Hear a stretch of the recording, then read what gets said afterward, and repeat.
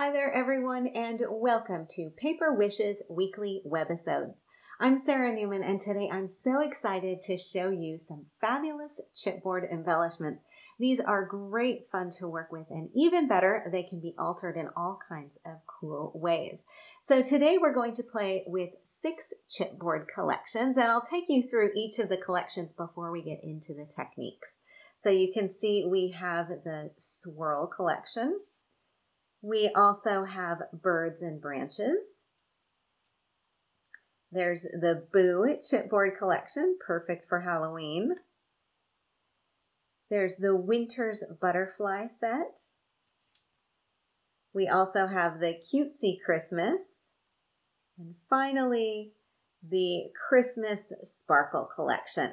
Now, each one of these packs contains a 6 inch by 6 inch piece of chipboard filled with laser cut images. Now, laser cutting means that the chipboard has basically been cut with a beam of light, which sounds really cool. And it also means that each one of these has incredible detail. Now, if you flip the pieces over, you'll see that on the other side, because of that laser cutting, you've got a sort of a vintage tinge to it. So it's from the, the laser cutting process itself. Now you'll probably also notice that excepting for the word motifs on here, you can actually use the pieces either the front or the back. So just depending on how you want those pieces to face. Now you probably already see that they're quite easy to remove from the chipboard piece. You just need to pop them out and then you will have some beautiful accent pieces. Of course, you can use these just as they are if you want to, but there are also some really, really fun ways that you can alter these, and that's what we're going to be playing with today. So today I have eight techniques for altering your chipboard pieces, and I'm sure that this is just the tip of the iceberg. As you watch, you'll probably think of even more ways to create your own customized embellishments. So as you can see, we have a lot to explore today, and I am so very glad you're here. Come play with us. Probably the easiest way to personalize your chipboard is with a marker. Now you can use lots of different kinds of markers. The one I'm using today is the Spectrum Noir Tri-Blend and the color that I'm using is ice blue and this is going to work beautifully on my um, snowflake from the Winter's Butterfly collection. Now you might find in this case that it's easier to keep the chipboard in the um, in the main piece rather than popping it out just gives you a little something extra to hold on to while you're doing your coloring. And I'm just scribbling the marker on here. Of course, I don't need to worry too much about staying in the lines. And I'm working on a craft sheet, so it doesn't really matter if I accidentally get in the center area there. So let me just finish cle clearing this up here, getting all of those white pieces colored with this beautiful blue. And then what I can do is simply pop this out from my backing sheet. You can see I have a really pretty little snowflake embellishment and just pop that onto a piece of white cardstock and I am ready to go. And don't forget you can use either side so you might choose to get some of that beautiful brownish tinge from the laser cutting if you wanted to have that as well. So that's the first technique, quick and easy to do with markers. Now our second technique is featuring inking as well, but this time you're using some ink pads. And this is a great way to get a fun multicolored effect. So you can use pigment ink, dye ink, you can use distress ink, or even embossing ink, and we'll get to that one later. But this is really just as simple as pressing the ink pad directly onto the chipboard shape. Now in this case, I'm using a leaf from the Birds and Branches collection. And I'm starting with the Honey Pot ink. So I'm just going to rub this directly onto my chipboard shape. So that's the first layer of ink. And I could leave this as it is, but I thought I'd also add in a little bit of brown. Let me turn this the right way. And this is the seal brown. Now you'll notice with the honey pot and with the seal brown that these are water reactive dyes which means that I can add some water on here if I want to get even more of a uh, dimensional look. So I'm just going to kind of tap this on here.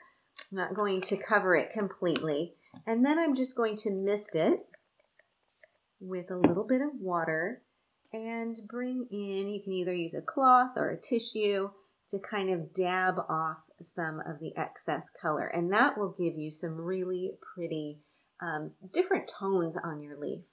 Now, just to add a third color on here, this one is the, also by Spectrum Noir. This is the Midas, and this is in uh, metallic pigment gold.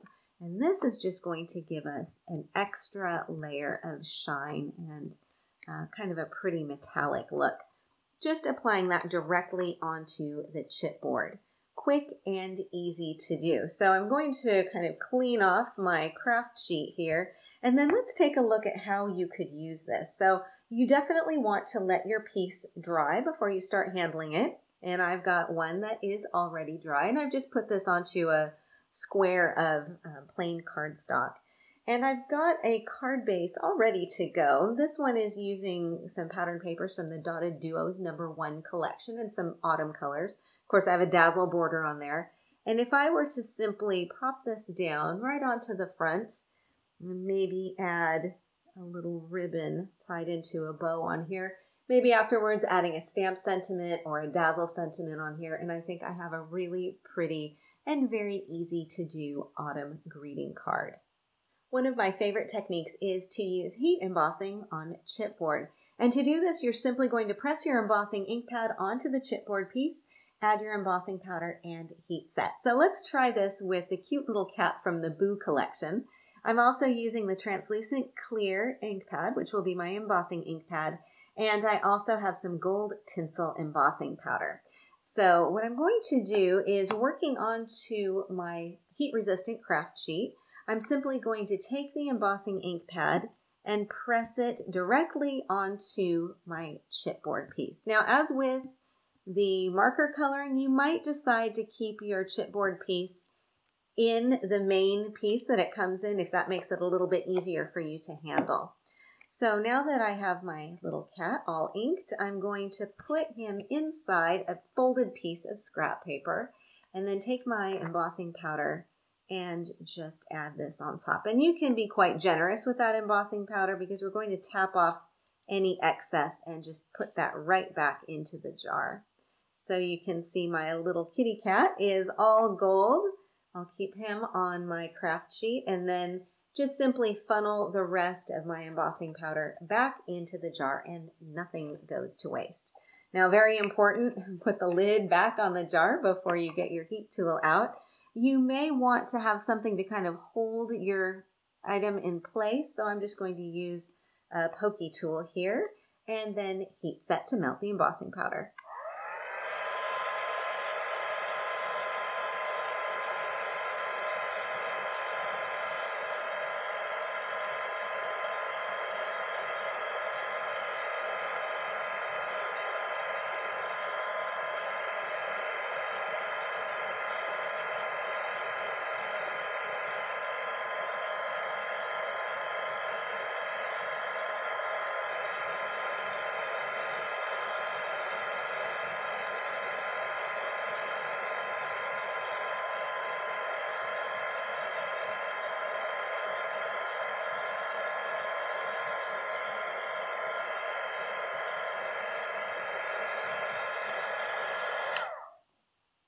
Okay, now that my embossing powder has melted, I have this beautiful shiny little kitty cat.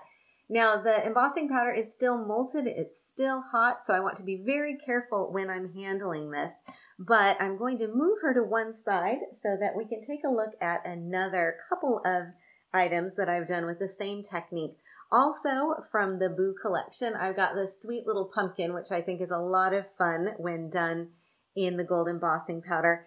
And I was also doing a couple of swirls earlier from the swirls pack. Now this one I just kept in that backing sheet because I was holding on to it while I was heat setting it. So you can do either way, whichever way is easiest for you to handle. Now another piece that I did is this beautiful wreath, and this is from the Winter's Butterfly set. And I've added some pastel flat pearls on here. Now let's take a look I've got a card that I've covered with pattern papers from the Christmas Sparkle paper pack. I've added a sentiment on here with dazzles. Now, what does this look like if I just simply put that wreath right on top I think it is such a quick and easy way to get a very elegant look. And don't forget, you can also mix and match the collections too. So I have a pretty pine bough from the Christmas Sparkle chipboard set, which I've also done with uh, the gold embossing powder. And you could simply add that right down on the bottom so that you've got some balance created here on that wreath. Quick and easy to do. I think heat embossing is a fantastic way to use your chipboard embellishments. A new favorite for me is a product called Fluffy Stuff, and this is from Creative Expressions. Fluffy Stuff is a specially formulated medium that gives the result of a fluffy texture when you apply it to your surface. And it could be fluffy, or it could be furry, or it could be feathery. So I'm going to take the penguin from the Cutesy Christmas set, and I've inked the penguin's body with uh, stamping ink, as we've seen earlier. So some black and then brown on his feet. And I could take this layered piece and just pop it down on here and add his hat and we'll be ready to go. But I thought I would add a fluffy texture to this. So I'm going to move aside this part of his body and then simply apply the fluffy stuff directly onto the chipboard. Now it has a really fine tip so that you can make sure to get around in some of those detail areas. And I'm just going to apply this all over the entire piece. So I've made sure to cover this pretty well. Now the next step I need to do is bring in my heat tool again, but as before, I'm going to use a tool just to hold this in place so it doesn't blow away. So stay with me while I do my heat setting.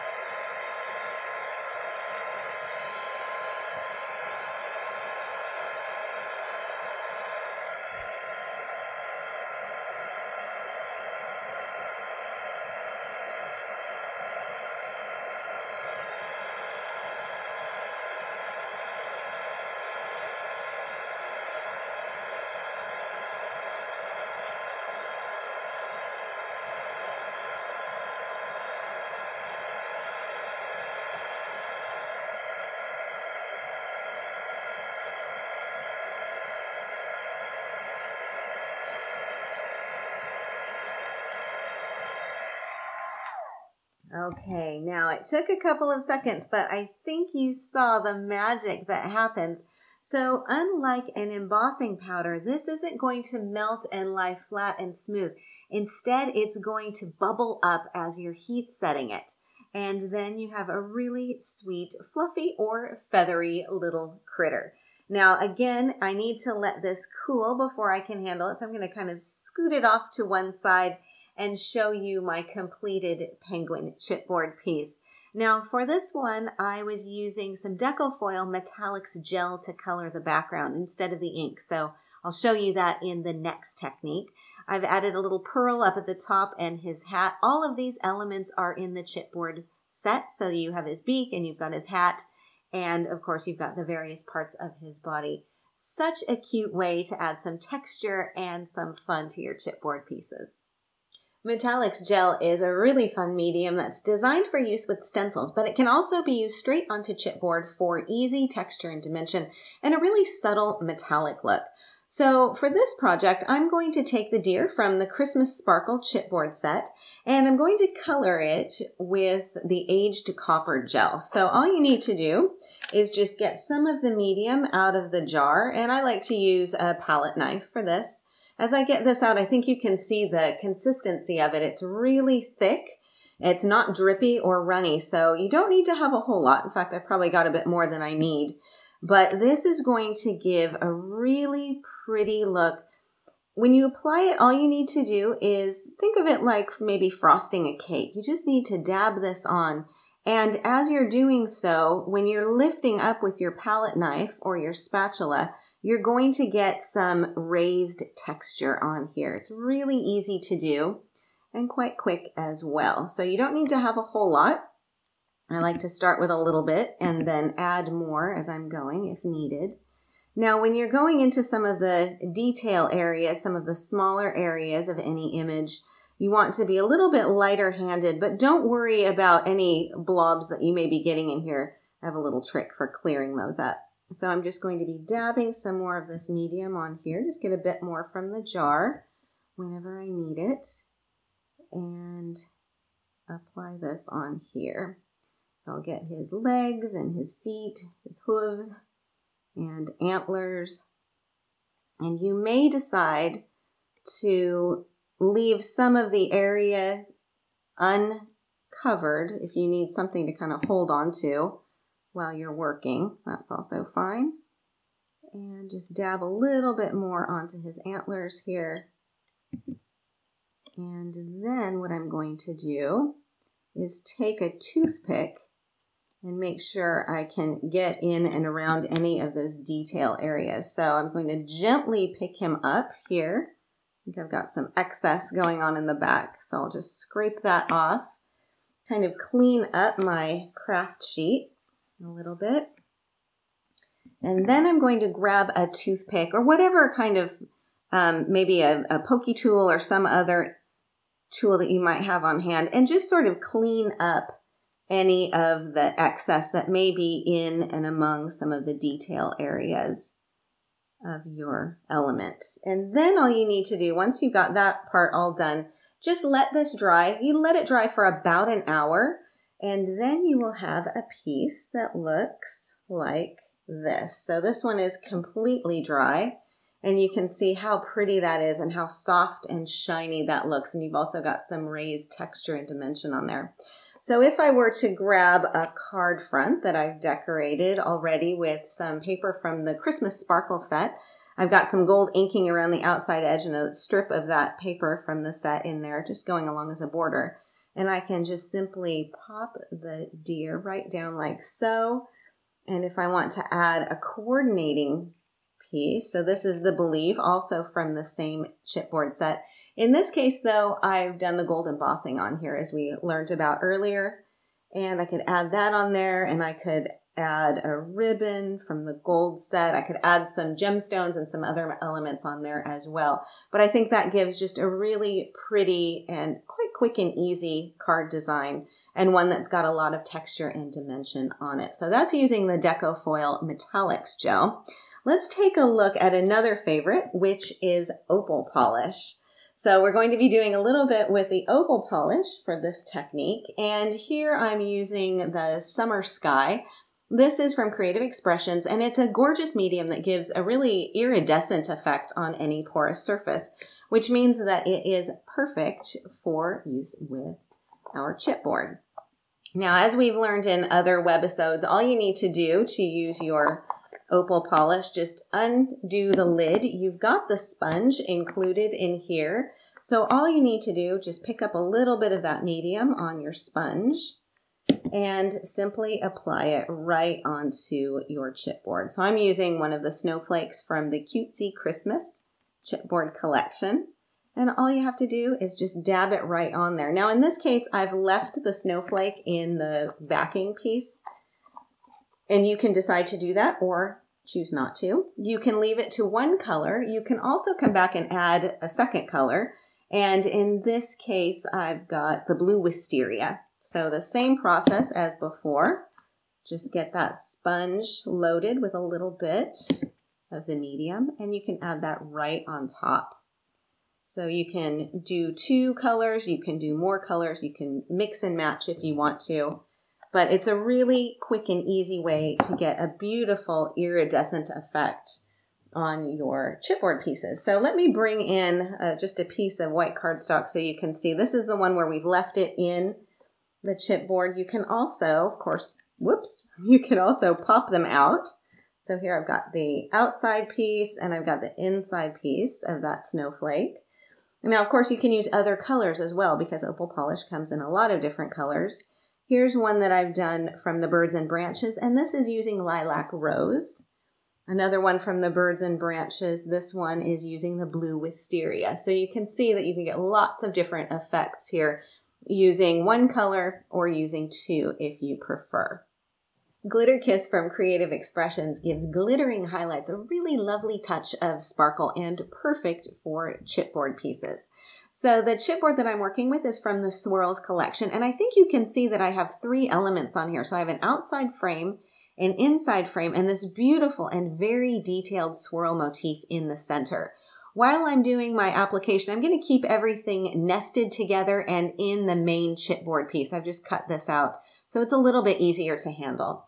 Now, as with the opal polish, all you need to do is dab this on and you can use the applicator that's included in the jar. So what I'm going to do is just pick up a little bit of the medium on the sponge, kind of clear off some of the excess. And what I want to do, because of this really intricate detail in here, I want to apply my glitter kiss with a tapping motion rather than scrubbing it in in a circular motion. And that's just because there's so much detail in here. If I really am scrubbing it in, it can get into some of those detail areas and sort of clog them up. And that can be cleared up, but I'll save myself the, the time and the effort with that toothpick and instead just kind of tap this on. And you don't need to have very much. A light touch will do. You can always go back and add more if you want to and just go around the outside here and make sure you've got that color on there. And then all you need to do is let your piece dry. So I've got a piece that is already dry here. You can see how pretty that is. Now this is just the center element, so I've already taken away that larger frame, and I'll show that to you in a second, because I want to add another bit of color in here as well. So you can leave this as is. You can also add a little bit more medium to it. So in this case, I'm going to come back to our opal polish, and this is the summer sky we just used. And I'm going to apply some of this just right on top. Again, using the sponge that's included in the jar. Scrape off some excess. You don't need a whole lot. And then dab this on right on top of that glitter kiss. Now I did let the glitter kiss dry before I went to add more of this on here. And this is going to create a really cool effect because the glitter kiss is essentially acting as a resist to that opal polish, which is going to give a really beautiful look. Now, I'll need to let that dry, but what I'm gonna do is just bring in a piece of scrap paper here, and you can see I've got the outside frame that I've done this technique with. I have the inside, which still has that beautiful motif in there, and I can just pop that out and then you can see my three layers on here. It looks so pretty. It almost has kind of a weathered patina to it. Now I can keep everything nested if I want to. I can also do some mixing and matching here if I wanted to create some different effects. There's also a really pretty swirl and I just couldn't resist. I had to get a little bit of color on there as well. So this is how you can use either Glitter Kiss alone or in combination with another medium, which I think is a lot of fun. Now our very last technique that I want to show you is using Luna Paste, also from Creative Expressions. And this is a really quick and easy way to get some beautiful color onto your chipboard. So I've got the bird from the Birds and Branches on here, and I've left it again in the main piece of chipboard. Now with Luna Paste, you can apply this medium with a brush, with a palette knife. You can also use your finger if you want to. So let me just get a little bit of this color here on my finger. I'm going to hold down the main piece of chipboard and just dab this on. Again, you don't need to have a whole lot. A little bit will work just fine. And just gently rub this onto your chipboard piece like so. All you need to do is let that dry. You can always add more color to it if you want to or mix and match your colors. Here's another one of the birds just done with one coat of that um, same Luna paste. And that was in the Stellar Jade color. Very pretty and again, quick and easy to do. So now that you've seen some of the techniques you can do with the chipboard, let's take a look at a few card projects.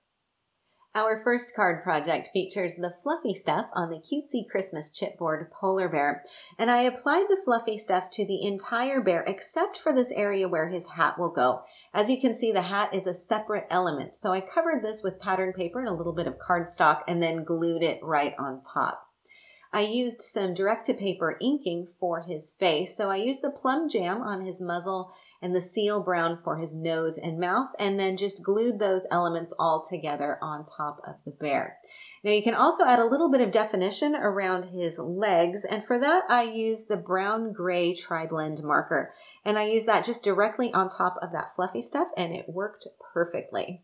Now, as you can see, your polar bear can face to the left or the right, just depending on which side of that chipboard piece you use. So the choice is up to you.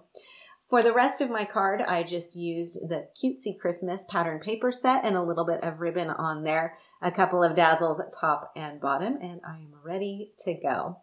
Now you can get a very different look with our second card, and this one is featuring the Rose Copper Glitter Kiss that's been applied to the Swirls chipboard. And after that dried, I applied a light touch of the Lilac Rose Opal Polish, and that's going to give us that beautiful resist effect. The word thankful has been inked with black stamping ink pad, and I think these elements just coordinate perfectly with the denim bouquet pattern papers. Again, all I needed to add was a dazzle top and bottom and a little bit of ribbon on here as well. Now, if you're wondering what kind of adhesive to use for some of these detail elements, I can always recommend the Cosmic Acrylic Glue because it's a great glue and also because it has a really fine applicator, which means that it works perfectly for really detailed elements that you're gluing. Now the third card I want to show you is using elements from the chipboard Birds and Branches set. And I inked the leaves and the fern with the pine tree stamping ink. And then I added them to pattern papers in the Floral Abundance set. Now the bird was colored with gilded apricot opal polish, which I also used to edge the outside of my card and also my pattern paper piece on here. And again, all I needed to add was a little bow and then a dazzle sentiment down here as well. Now, I thought I'd take us back to some of the card projects that we got partially finished earlier in the webisode. You'll remember this one with the embossing. And again, I've got two elements on here. All I did was add a bow, and this is from the Light Pink Ribbons collection. And I think it's quite a quick and easy design and one that comes together quite nicely. The other card that I'll remind you of is this one using the inked leaves. Now, you'll remember that I did the inking on here, and I also did two additional leaves these two I've backed with some contrasting cardstock just to give them a little bit of extra dimension. Added those up onto the background paper, and that's from the Dotted Duos number one collection. I've added a Dazzles border and then also some words on here as well, a ribbon, and it's a nice, fun fall festive card, I think. The last card that I'll remind you of is this one here. Again, I didn't add a whole lot more to it than we saw earlier. I've got the deer, I've got that beautiful Believe and of course some dazzles top and bottom, a little bit of ribbon. And I added some more dazzles here on the card as well. So I think that you've seen just some of the possibilities for using these versatile chipboard pieces. And I suspect you are going to come up with even more great ways to put them to use. I'm so very glad that you joined me today and I can hardly wait to see what you create. Thank you so much for watching and thank you for being a part of the Paper Wishes family. We're really glad that you're here with us. Please be sure to leave a comment because we love to hear what you think. Each item can be purchased separately and you can see those below. However, we've also bundled them into a creative money saver just for you. For that money saver, just see this webisode on paperwishes.com.